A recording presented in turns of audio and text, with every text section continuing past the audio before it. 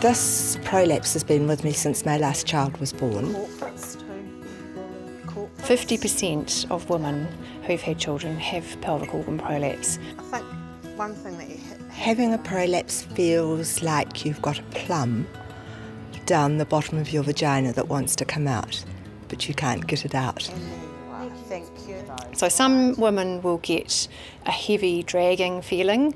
Um, they might get back pain um, and they'll be aware of a bulging at the vagina. And if it's actually coming right out, it can be really uncomfortable because it can rub on underwear and you can get abrasions and bleeding and risks of infection.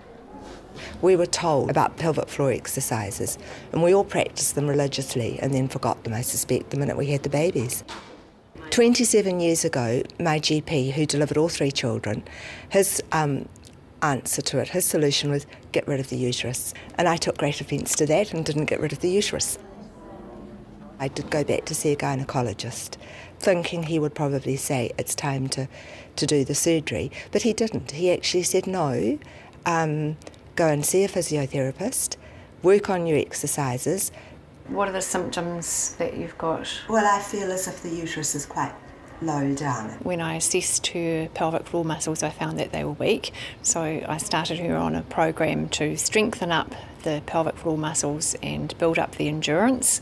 And then we worked in a more functional way so while she was doing activities. I'll talk you through now how to do the pelvic floor exercises.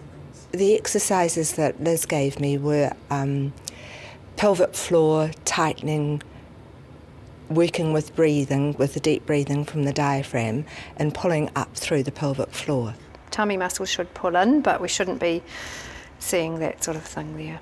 The one that helped the most was sitting on the toilet and breathing, using that pelvic floor exercise in, and I think that probably was the most effective. Does it cause any discomfort? No. No. I gave her a lot of advice about lifestyle factors.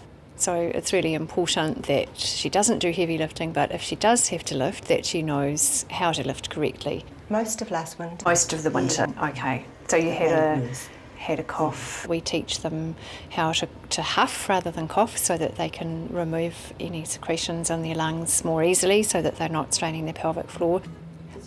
The physio recommended a high fibre diet and to avoid constipation.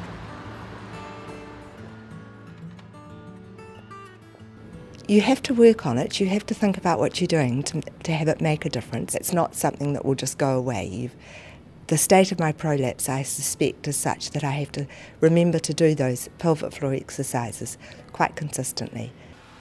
So I've persevered, and with the help of physio, it's been effective.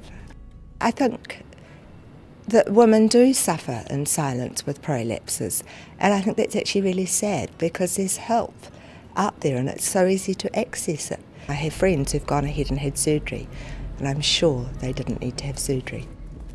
In Susan's case, the, the treatment has actually reduced her prolapse, but more importantly, her symptoms aren't bothering her anymore. So she's really happy with that outcome. I think I'm winning a little battle here with help from the physiotherapist.